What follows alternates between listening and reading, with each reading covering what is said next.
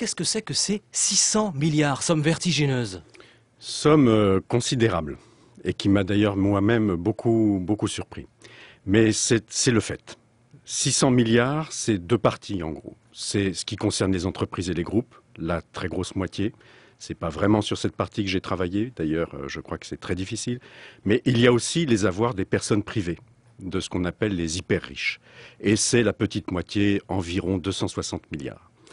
De toute façon, l'ensemble représente, et c'est à mon avis le plus intéressant, une perte fiscale annuelle pour l'État qui représente à peu près euh, un sixième du budget de l'État. C'est-à-dire, c'est par exemple le budget de l'éducation nationale. Donc c'est quelque chose, c'est une fuite de finances et de potentiel économique qui participe de mettre le pays à genoux. Des fortunes cachées à l'étranger. Des fortunes cachées pour un tiers, en gros, en Suisse près de chez nous. Pas besoin d'aller très loin. Non, non, non. Les personnes qui font ça souhaitent aller le plus près possible de chez elles. C'est, il y a la question de l'agrément, il y a la question de la commodité. À partir de la Suisse, qui est la première plateforme, on repart ensuite vers le Luxembourg, les îles Vierges britanniques, pour la gestion de ces fonds qui ont été placés dans les comptes non déclarés en Suisse.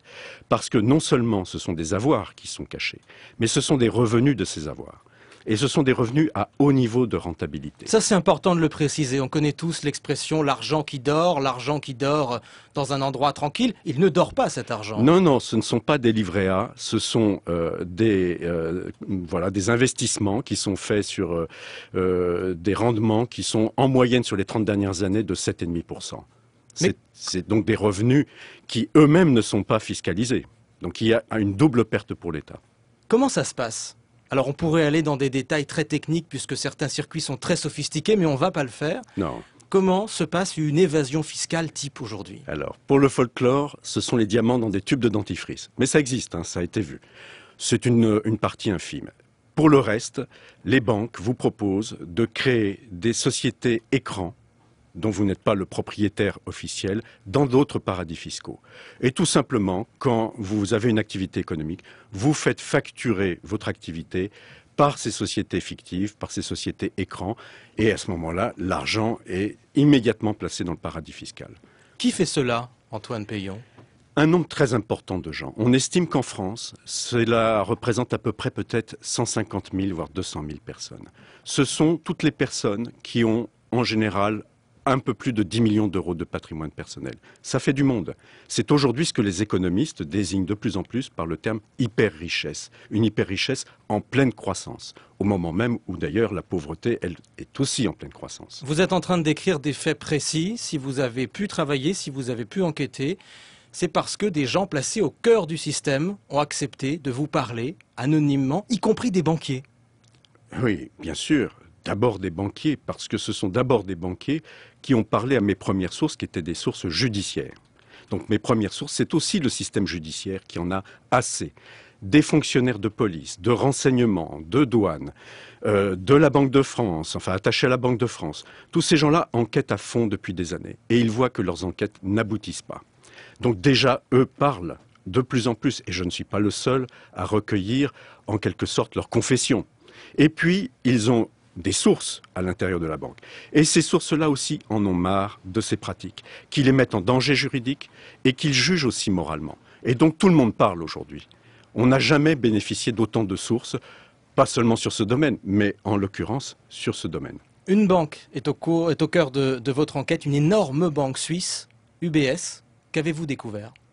Ce que j'ai découvert, c'est que le modèle économique de cette banque comprend obligatoirement l'évasion fiscale comme activité euh, quasi industrielle.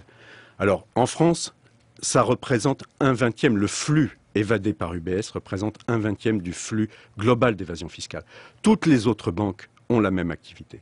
Mais UBS est un modèle en la matière, et par les techniques et par l'investissement de cette banque sur cette activité. Que vous répond UBS UBS est dans la dénégation totale comme ils l'ont fait d'ailleurs exactement de la même façon au moment de la révélation des affaires américaines, qui, elles, ont un traitement judiciaire lourd, et UBS ne cesse de me menacer euh, d'un point de vue judiciaire, me dit qu'ils vont me traîner euh, en procès.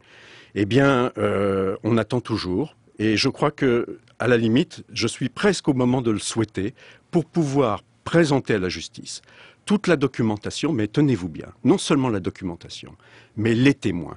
Aujourd'hui, les sources dont nous venons de parler sont prêtes à aller jusqu'au tribunal à visage découvert. Vous mettez en cause aussi l'attitude de l'État, l'attitude de la France. En 2009, Nicolas Sarkozy a promis la fin des paradis fiscaux. Où en sommes-nous? Les paradis fiscaux ne se sont jamais aussi bien portés. C'est l'évaluation unanime de tous les spécialistes. Mon confrère Xavier Harel, qui a fait un excellent livre il y a un an et demi, malheureusement passé inaperçu. Moi-même aujourd'hui, il suffit de regarder tous les discours prononcés dans les enceintes internationales, les sommets G20, G8, etc. Et il faut regarder le résultat de la lutte contre la fraude fiscale. C'est un véritable fiasco. Non seulement les évadés fiscaux ne sont pas inquiétés, mais la fraude fiscale dans son ensemble, aujourd'hui, jouit d'une totale impunité. Pourquoi Antoine Payon? Eh bien, l'explication qui m'est donnée par toutes mes sources, c'est qu'il y a un retour, il y a un retour de l'évasion fiscale vers le financement occulte de la politique, mais pas de n'importe quelle politique. La campagne, vous le savez très bien, de 2007 de Nicolas Sarkozy est dans le collimateur de la justice depuis maintenant un bon bout de temps. Il y a des instructions qui sont menées à Bordeaux, qui aujourd'hui sont très avancées sur la question euh, du financement par Madame Bettencourt de la campagne de Monsieur Sarkozy. Il y a un chapitre dans mon livre sur les mouvements pour 20 millions d'euros entre 2005 et 2007 des comptes Bettencourt. Je peux affirmer que toutes mes sources m'ont dit qu'il y avait un financement direct de Madame Bettencourt, de l'UMP de l'époque et du, du, candidat Nicolas Sarkozy de l'époque. Mais avez-vous des, des, preuves, des traces écrites d'un lien entre l'évasion fiscale et un financement de la campagne de Nicolas Sarkozy? Avez-vous des éléments? J'ai comme élément les mouvements des comptes de Madame Bettencourt qui sont très troublants et par les montants et par les dates. Et ensuite, j'ai le recueil de très nombreux témoignages, qu'ils soient judiciaires ou qu'ils soient internes à la banque, qui disent exactement la même chose. Vous rentrez de, de Suisse, comment le livre est-il accueilli chez nos voisins? Il est accueilli dans le cadre d'un débat. Et ce débat est très vif. Et en Suisse, on pointe le doigt vers la France. Et on dit que dans l'évasion fiscale entre la France et la Suisse, c'est la France qui est la première responsable. Antoine Payon, ces 600 milliards qui manquent à la France, enquête très fouillée, beaucoup de révélations. Le livre paraît aux éditions du Seuil. Merci à vous. Cet entretien en vidéo tout à l'heure sur franceinfo.fr.